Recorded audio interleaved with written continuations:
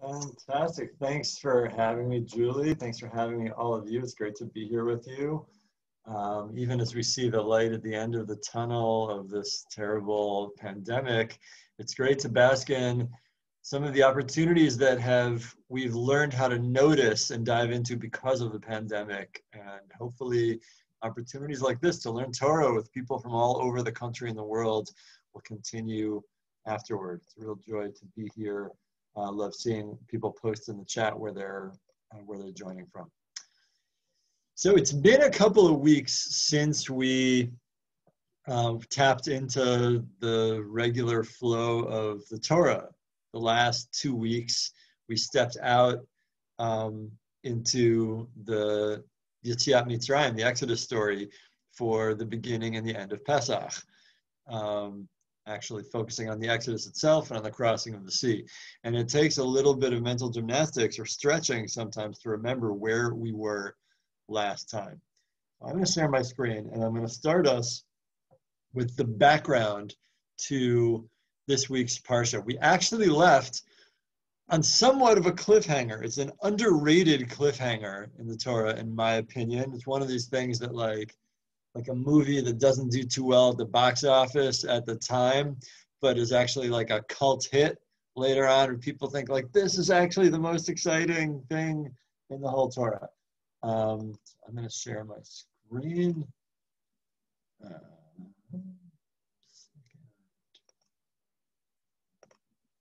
Oops, wrong. Okay. All right.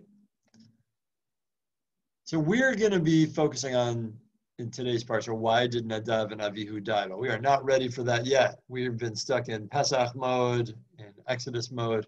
We need to backtrack a little bit. At the end of Parshat Tzav, the end of chapter 8 of Vayikra, we had had um, Moshe was giving um, detailed, meticulous instructions to Aharon, the high priest, Moshe's brother, and to his sons for how to prepare the erection of the Mishkan, um, the tabernacle. Remember, toward the end of the book of Exodus, of Shemot, we had the people bringing voluntarily bringing forth all their offerings till to the point that they had to be told to stop bringing stuff in order to build the gold and the silver, the fabrics, to build this portable temple so that God can have a, a home dwelling among them. At the end of Parshat Tzav, chap, the end of chapter 8 of Vayikra, Moshe said to Aaron and his sons, boil the flesh at the entrance of the tent of meeting. They've now set up the tent of meeting. They just haven't consecrated it yet or started the offer, offerings. So take this, we've been giving lots of instructions about the sacrifice and eat it there with the bread that is in the installation basket. Sal hamiluim. Some people translate miluim as ordination, but that seems to be the term. It really comes from the word for fullness, the term for in the inauguration or the installation of the priestly uh, role and of and of the temple or of the portable temple, the Mishkan. As I commanded, kasher tziveti, saying, Aaron and son shall eat it, and what is left of the flesh and the bread you shall burn in fire.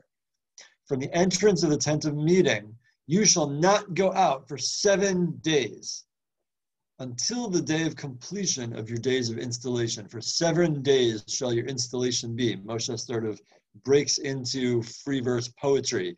Um, with uh, that sort of chiastic verse there. Mipetach ol moed lo tetzu shivat yamim ad yom miluechem ki shivat yamim ad As it was on this day, Adonai has commanded to do to atone for you. And at the entrance of the tent of meeting, you shall sit day and night for seven days. And you shall keep Adonai's watch. Mishmeret Adonai, that you may not die. For so I have been commanded. Kichen Suveti. And Aaron and his sons did all the things that Adonai had commanded through Moshe.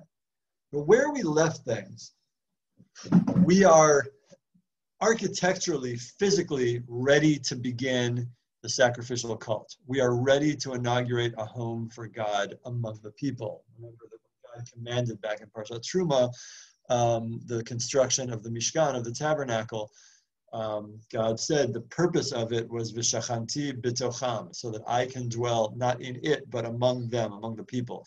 For God to be with us, God needs to have some sort of vessel, whether that's for God's purpose, whether that's for our purpose, because unmediated, the presence of God would be overwhelming. We would die. The indication from Revelation Mount Sinai indicates that people couldn't take it. Um, um, so the stakes are high. People were desperately wanting God to continue to be among the people. And here, the physical construction is done. Everything is set up and ready to go, but there needs to be an inauguration ceremony. And we dramatically ended Parshat Tzav with Aaron and his four sons sitting watch for seven days, a seven day quarantine of watch, maybe so that they could rehearse all the meticulous instructions for the inauguration, which will happen on the eighth day, maybe to go over and to get spiritually ready, maybe to make sure that they are in a state of purity so that nothing can go wrong for the very high stakes inauguration. In other words, how do we transition from mundane to holy? Or how do we transition from the typical to the unusual? How do we transition from the low stakes to the high stakes? And it takes meticulous preparation.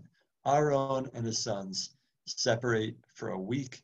They sit watch, Ushmartem Mishmeret Adonai, at the entrance to the tent of meeting, not going inside for seven days.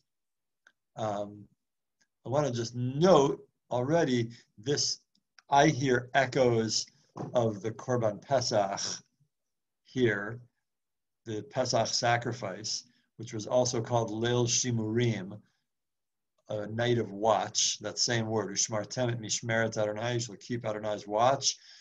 That was the, the, the watch night back then another high stakes night of transition of God's presence. God was going to go out, um, you know, physically, personally into Egypt, and it was going to be lethal. And so people had to be following the instructions meticulously, and there was a period of preparation. In that case, there was 14 days leading up to the Korban Pesach, and it's followed by seven days of Chag HaMatzot, the festival of matzah. Um, I think there are echoes of that, of a dangerous time that includes preparation that is keeping watch on Mishmeret. That's where we left it. It's been quite a, uh, a cliffhanger, even if we've gotten distracted with other very dramatic things in the Pesach story. From that, we transition into this week's Parsha. And this is where we begin. I want us to pay attention. I haven't brought the entirety of that chapter nine where most of the action happens. I've just brought what I think are some significant motifs, recurring motifs here, so that we can discuss what is really uh, at stake. And I think this is going to be useful background so we can understand what's going right as well as what's going wrong.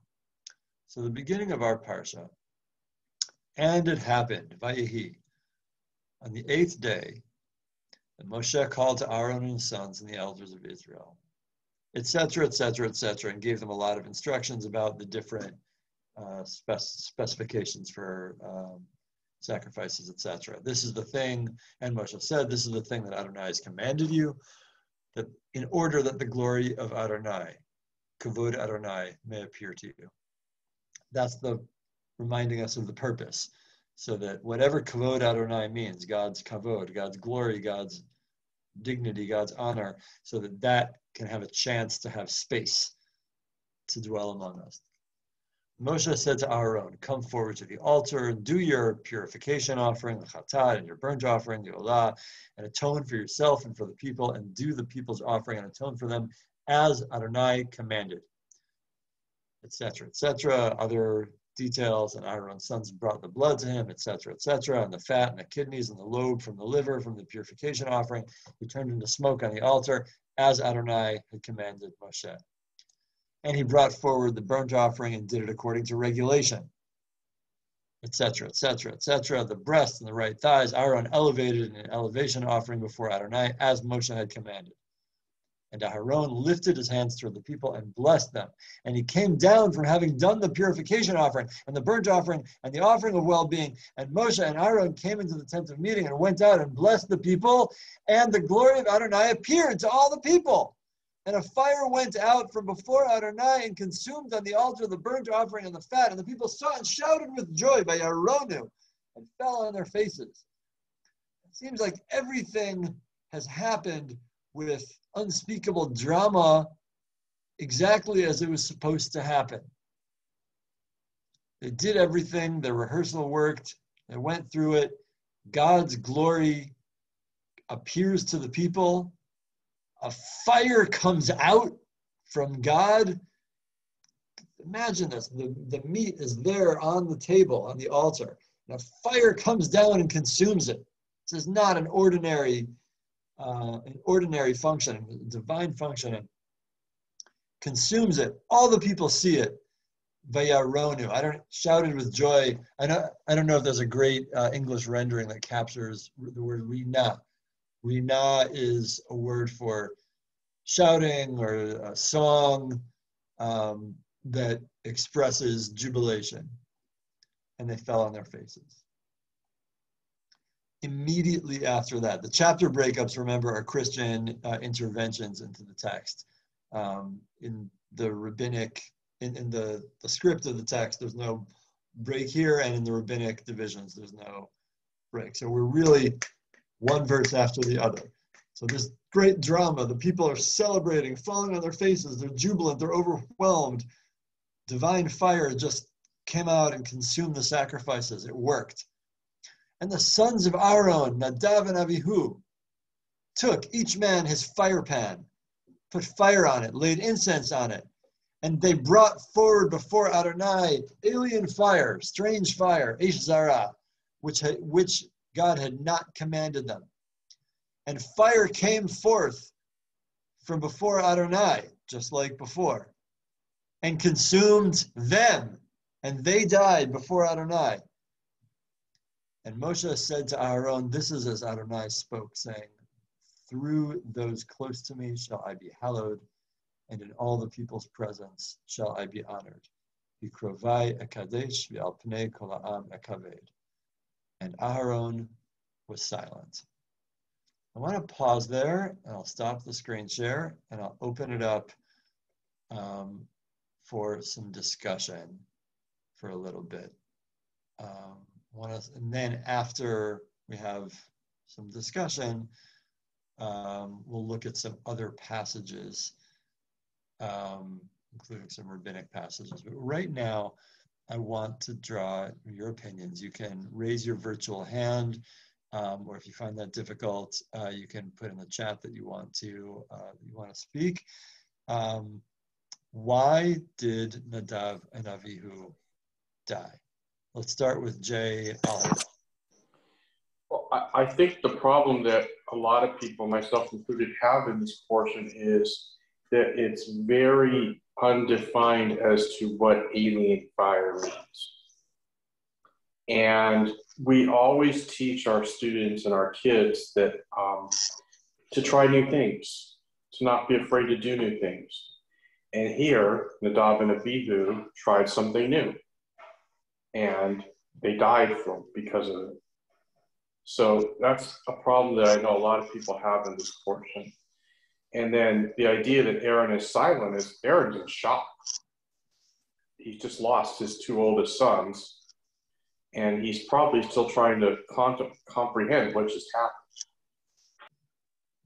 Thank you, Jay. Tanya Evans, go ahead. Why did Nadav and Avihu die? Well, Rabbi, as you know, there are a lot of speculations and a lot of theories. Maybe they had, uh, maybe they were drunk, but you know, obviously there was some kind of breach of protocol. And uh, I remember back in the book of Shemot, Moses took Nadab and Abihu along with Aaron and some of the elders, and they went to the mountain.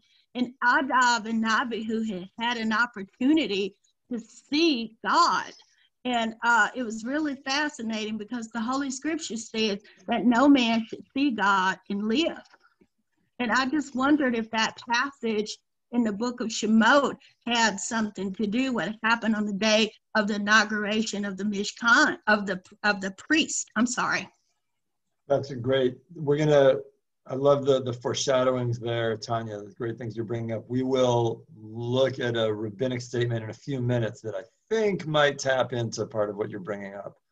Um, I'm noticing Jen Mirror writes in the chat, it almost seems like they died just as an example, an opportunistic example. They just happened to do something right after the first fire coming down. So God used them as an example. Jen, would you like to unmute and share an example of what? What do we learn from it?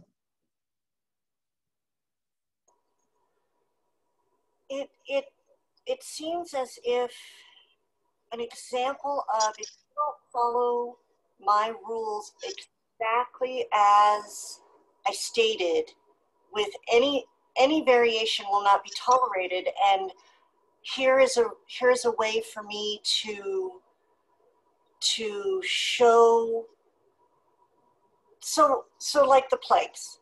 The plagues mm-hmm. were a big deal. They were huge. They were seen by everyone. And they went throughout the land and everyone knew you don't follow God, this is what you get it it seems to tie kind of with that to me. Great. Jenna, I'm hearing connections between what you're saying and what Jay said at the beginning and being troubled. It seems like there's this uh, strong emphasis on um, following exact protocol, exact instructions, and not and not deviating. And Jay raised that as a problem. Don't we actually encourage people to create and innovate. And you know, I wonder, like, so if if that's the case, and that's actually, by the way, exactly how um, Nechama Leibowitz, the great 20th century Bible scholar and teacher, that's her explanation, consistent with the theology of her and her brother, the philosopher and chemist Yeshayahu Leibowitz, that this is a signature example that devotion to God is about obedience and meticulous fulfilling of duty. And that always leaves me a little bit troubled though, because, well, then why didn't a strange fire come down and consume Miriam and Moshe when they innovated the Song of the Sea?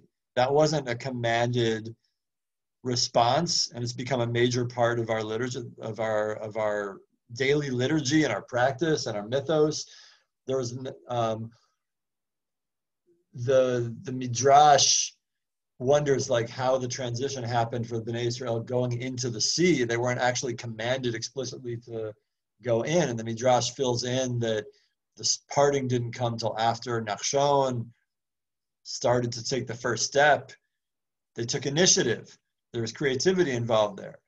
Or how about Eliyahu, Elijah the prophet, on Mount Carmel, when he was taunting the Nivi'e Baal, the priests of Baal, and innovating an entire worship and god uh, god validated him vindicated him by accepting his sacrifice so why doesn't a strange why doesn't a fire from god come out and consume elijah then i want i i want to hear what jay and um, and jen were saying and actually make sure we're not flattening this question. I want us to be not just satisfied with the Nechama Leibowitz response there.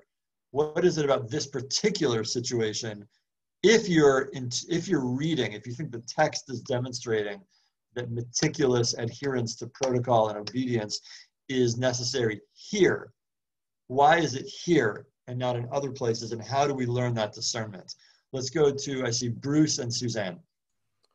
Yeah, I mean, I want to touch just really briefly on something Tanya made reference to. I, I think there and this has sometimes been the case in the Torah, there's something that's missing here that we don't know. There's something else that is has happened, and we're not filled in on the details because this is brutal by any measure. I mean, this to, to, this uh, is one of the hallmark examples of many in the Torah of you know causing people to be God fearing. I mean, if anything is, is going to make you fear God, it's seeing Aaron's two eldest sons die this way you know, in what appears to be, you know, what, what we don't know was something that far out of the protocol or, or something so critical. So I, I really kind of have always felt uh, this brutal story has details that we we either will have to speculate on or imagine to explain such a uh, an incident. Thanks, Bruce. Go ahead, Suzanne. Un- unmute yourself. excuse me, I think it's a matter of pride. I think that when Aaron's sons did their own things, so to speak, it was partially out of pride, partially out of their ego. When Miriam started singing, I think it was out, it was a natural reaction of appreciation and gratitude. It was a spontaneous reaction, I would think and it was out of her love and appreciation for God. It wasn't about herself. Mhm. It was about Well, you- you could, s- couldn't you just as easily say that about Nadav and Avihu? They're overwhelmed with joy. They are part of the Vayaronu, the jubilant joy, shouting for joy of the people. And in that moment of the Spirit entering them with such joy and uh, overwhelmed joy the presence of God, they're uh, they're filled with the Spirit and they offer another offering. Why not? Why not that? That seems like a very similar energy to me. they added to what God did. So What did Miriam. and Mary- Moses- so did Miriam with the Song of the Sea. God didn't command that song. That's an innovation. I don't see it as the same thing. So I- I- unpack a little bit. Where do you see? Where do you see the difference there?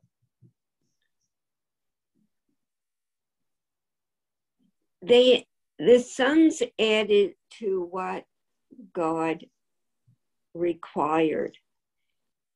It it was um an addition to something that was already ordained or Mhm. decided.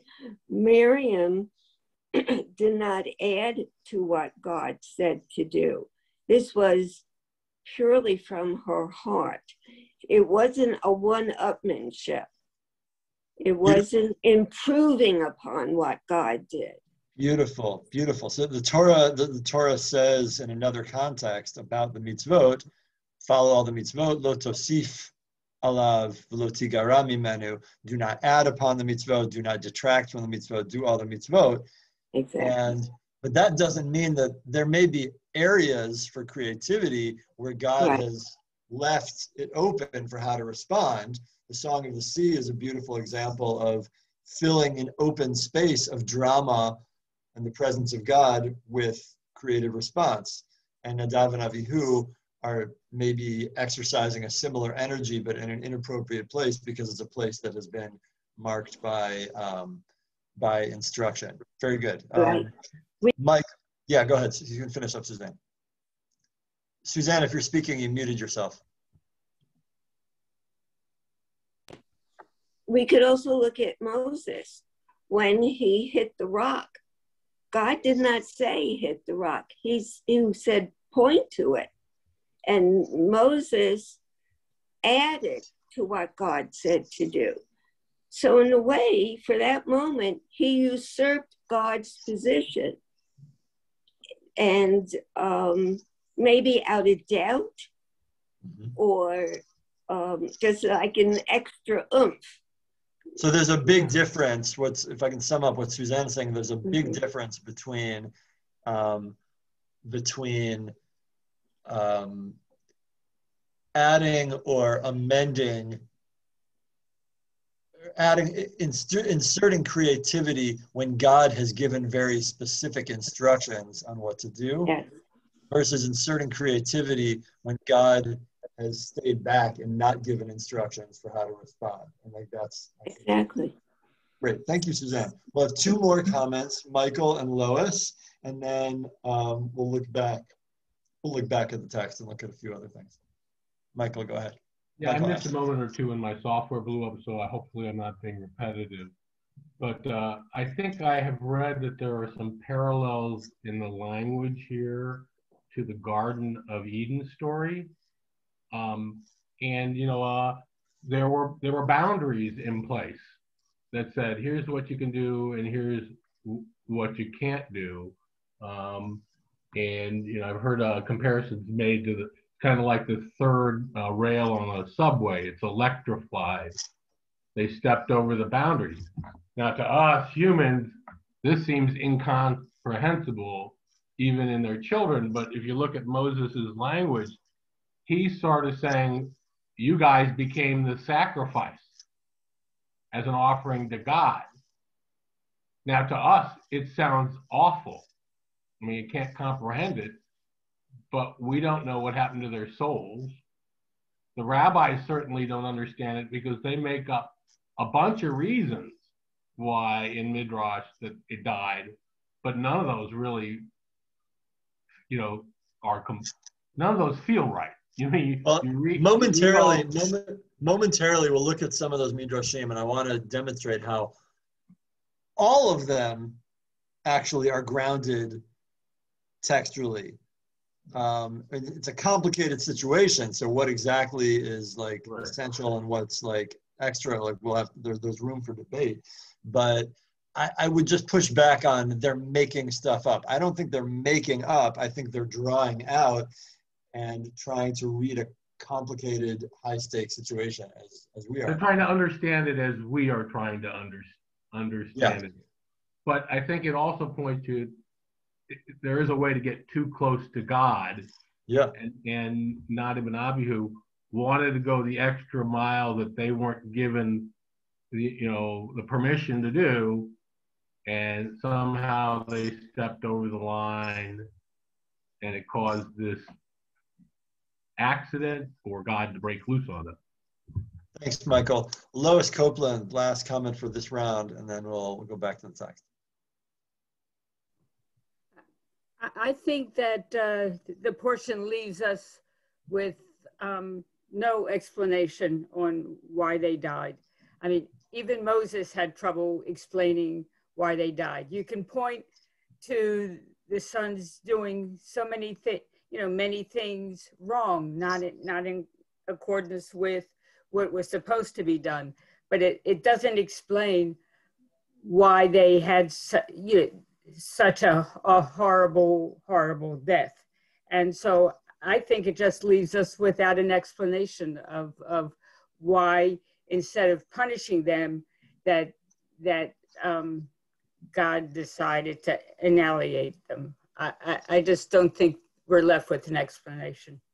Okay, thank you, Lois. We're gonna look back, um, look back at the text. Um, it's a very terse passage after, this is, I think, uh, a great example of where form, literary form is content. The fact that we have so much text about the preparation, the instructions, and then just these two verses about the fulfillment and then two verses about the unraveling is both to indicate to us the duration of rehearsal, the sense of like how much preparation is necessary for a brief glimpse and brief encounter of, of God, which is really like anyone who's worked in conference planning or party planning or event planning, Lahavdil, uh, understands actually how much time has to go into organizing, you know, like a one day event, um, months and months and months of meticulous planning for that. Um, but there's a lot of themes. Notice what I highlighted here in the end of Parshat Tzav and at the beginning of Parshat Shmini, over and over and over again. The Torah repeats. Instead of just saying, you know, once, Moshe said to Aaron, do all these things which God has commanded, and here are all the things. Each item, as I commanded, as God has commanded for you to do. Keep God's watch, which is a sense of nervous, you know, protection. For I have been commanded, for Adonai is commanded. Adonai has commanded you. Adonai is commanded, as Adonai commanded, according to regulation. Everything Moshe Aaron did was according to regulation, as as Moshe commanded, etc. When everything comes goes right, the fire comes out, consumes the uh, the sacrifices, and the people shout with joy. That is when Aaron did what he had been commanded according to regulation and as Moshe commanded. Immediately after that, the sons of Aharon, Nadav, and Abihu took each man his fire pan, put fire on it, laid incense on it, and they brought forward before Adonai Eish Zara, foreign strange fire, Asher Lo Tziva Otam. The, the main motif of the entire preparation here was as God commands, as God commands, as God commands. It's, Moshe is repeating incessantly. There's one message you need to get. This is a thing that has to be done according to script. And Nadav and Abihu did something, asher lo tziva utam. That same language, tziva, which had been repeated several times, uh, do it as God commanded. They did it, asher lo tziva utam. So one thing to focus on is this Eish Zara, a strange fire, a foreign fire. Another thing to focus on is Asher Lo Tziva Utam. And even the way we lein it, the way we re- chant it, there's an unusual, long, acrobatic musical trope under the word lo to really emphasize. Asher lo tziva otam to really emphasize they were going against protocol, against divine commandment. Another clue so somebody mentioned that, you know, the rabbi said, or Tanya mentioned that she heard like maybe they were drunk.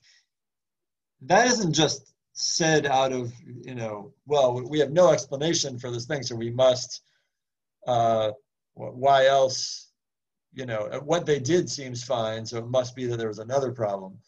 Yeah, that's also a textual cue. Immediately afterwards, so verse four through seven, right after this, is Moshe giving commandments to the cousins uh, Mishael and El Safan to remove the corpses and how to prevent this terrible thing from getting worse. Like how do you remove the corpse, corpses and bury them, etc., um, while the service for the consecration goes on. The next thing that happens in verse 8, God speaks to Aaron. That is, does not happen very often. Usually God speaks to Moshe and Moshe speaks to Aaron, or sometimes God speaks to the two of them together. Um, this is either the only or one of the only two or three places in the Torah where God speaks to Aaron directly, saying, Wine and liquor do not drink, you and your sons with you, when you enter the tent of meeting, that you may not die. This is an eternal law for your generations. And to distinguish, lahavdil, ben kodesh lechol, ben atameh, ben tahor, between the sacred and the profane, between the impure and the pure, and to teach the Israelites all the laws which Adonai has spoken to them by the hand of Moshe. So when Rabbi Yishmael in the Midrash, Rashi records this in his comment, says it must be the Nadav and Avihu were shtuye yain, they were drunk on wine when they went in.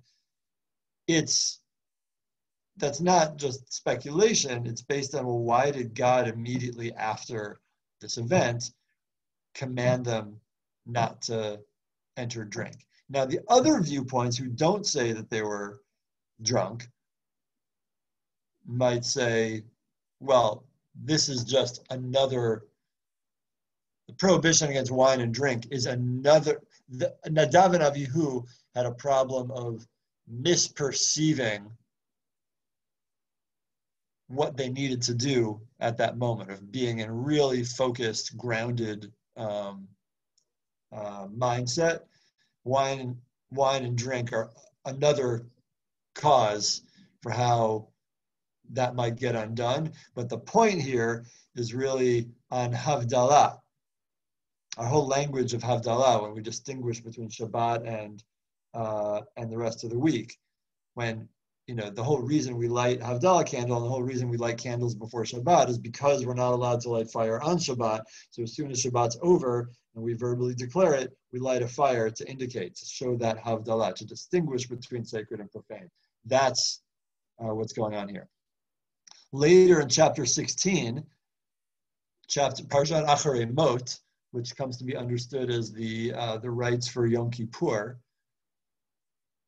we see another reference by the Ber Adonai Moshe Acharei Mot Shnei Bnei Haron. Adonai spoke to Moshe after the death of the two sons of Aharon, Bekorvatam Lifnei Adonai Ve'amutu, who came forward before Adonai and died. So, if we might have thought that the problem was offering strange fire or fire that hadn't been commanded. Here, this verse indicates that it wasn't their uh, their hakrava, they're bringing forth something else that was problematic, but the the kirba, the coming close themselves, um, they're drawing forward. They they crossed a boundary, and that's why uh, they died. And Adonai then speaks to Moshe, speak to Aaron, your brother, that he not come at, at any time, at all times, into the sacred zone, the Kodesh, within the curtain, lest he die.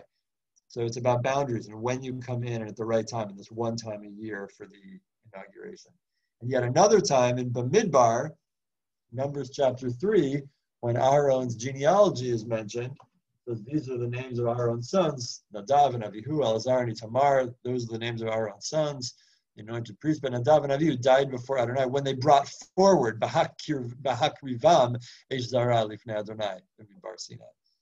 So we see the Torah kind of dancing around these few explanations. Was it they're drawing close when they didn't respect a boundary? Was it bringing forth something that wasn't according to protocol? Was it that um, the, the particular offering was itself intrinsically a foreign offering outside of protocol, or was it just that, you know, like as the, the phrase Eish Zara might indicate, a foreign fire? Or was it that just the timing was foreign? It wasn't commanded at this moment. Or maybe it's just everything they did was fine, but they weren't supposed to come forward at this moment. Or maybe it's that they were stuye yain, that they were drunk, and that's why immediately afterwards God commands Aaron, saying, "Don't ever come in drunk." Now you see what happens. I want to suggest that all of these explanations, when we see, when we hear different rabbis in the midrashim um, uh, saying, we hear different rabbis in the midrashim saying that um, different opinions they died because they were stuya because they were drunk. They died because they brought forward something for. They died because they came too close. I agree with Jen's comment, but aren't all of these boundary issues? I think there's really a collective issue here, and it goes back to the questions that uh, that came up at the beginning.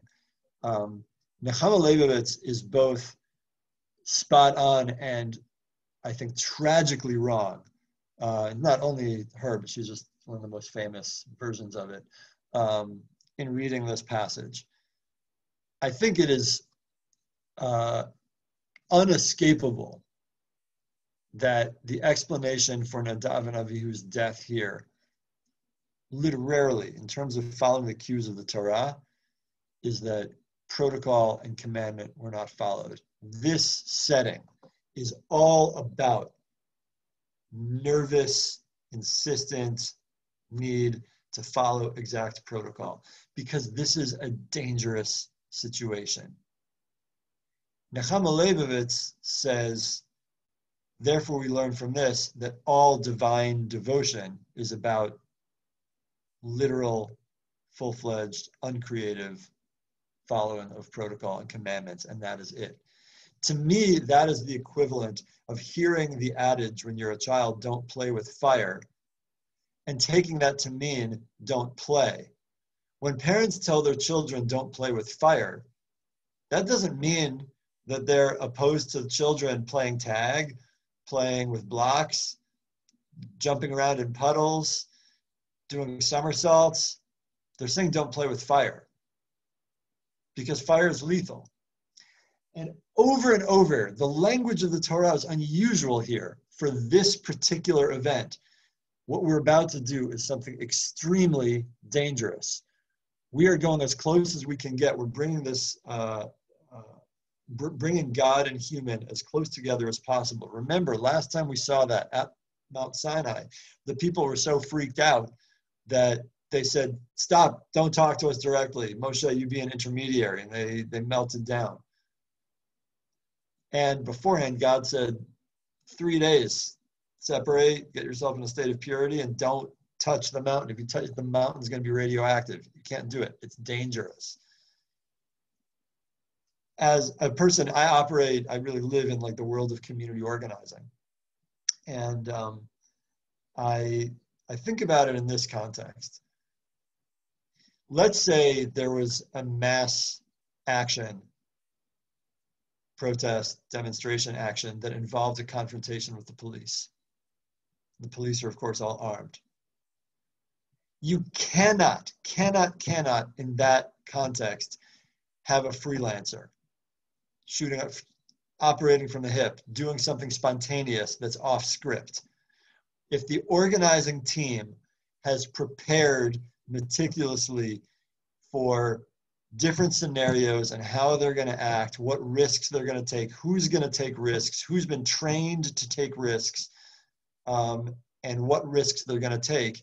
The last thing you want is somebody going in because at the moment they get taken by the spirit of bravery and they go forward and do something provocative. That might get somebody shot. You can't do it. However, the same energy that animated Nadav and Avihu in that moment might actually be the same energy. That might be the same kind of personality that in another section, like after you've just seen God drown your oppressors, the most powerful army in the world, and then God vanishes, and you're breathing heavily and trying to figure out what to do, this same hothead energy might be the same energy that enables you to figure out how to move forward and how to capture this event. I'll go deeper. There's another example of this that I think, where I think um, the same energy of Nadav and Avihu is manifested in a risky but appropriate way in Pinchas. In the Pinchas story, we also see an example of something very dangerous going on there's a mass communal orgy between the Israelites and the Midianites and Moabites, and all hell is breaking loose. The leadership has lost control. God is livid. Moshe and the rest of the leadership seem immobilized. Whereas here, the literary theme is meticulous following of protocol and getting the script down.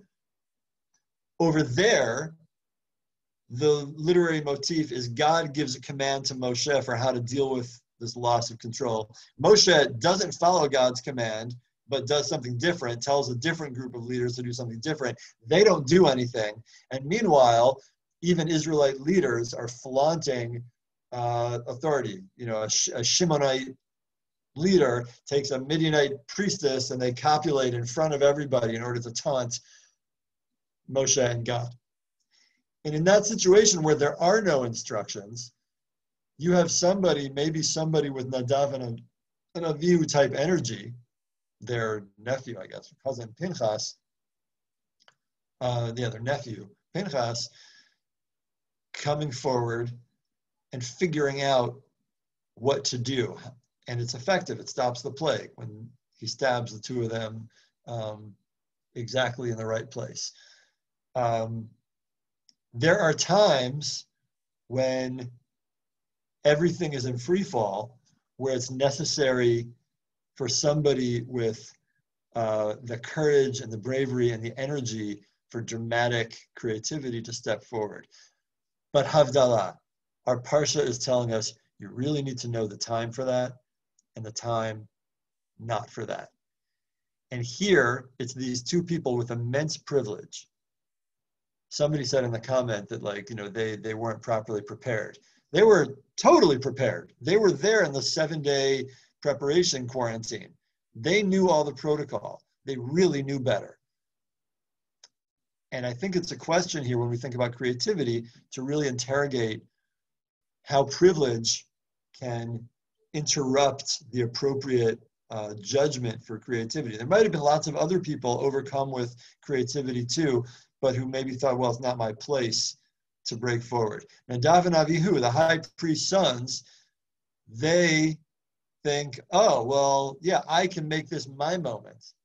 And in fact, there's a rabbinic, uh, there's a rabbinic comment um, in uh, this, the Midrash Sifra that actually even going back at Mount Sinai, like they had their eyes on Moshe and Aaron who were getting all this glory, and they're saying, We're going to have our day soon enough. Soon these two old ones will die, and we're going to lead the congregation. And then Kadosh Baruch says, Well, we'll see who's going to bury whom. They're going to bury you, and they're going to lead the, the congregation. There's no room. There are times when there's no room for stepping out of role. That's not creativity. That's arrogation of of duty and um, and acting out of immense uh, privilege and entitlement. That's, I think, how we understand Rabbi Eliezer's ruling, which we see in the Talmud as well as in the Midrash Sifra, that Nadav and Abihu died because they issued a halachic ruling before Moshe. In other words, the point is right now is not your time to be innovating. We have protocol here. There might be times when Moshe doesn't have anything to say. That's Pinchas. Knowing the appropriate time for innovation and creativity and knowing the appropriate time to, to hold back and follow protocol. I think that's really the lesson of our parasha.